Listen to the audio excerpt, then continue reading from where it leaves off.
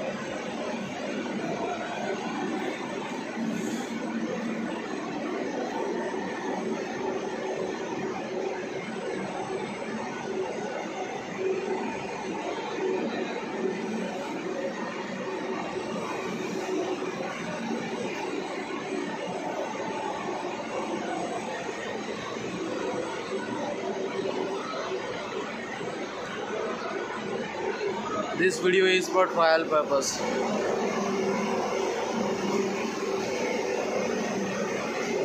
We are taking the trial of salt based chemical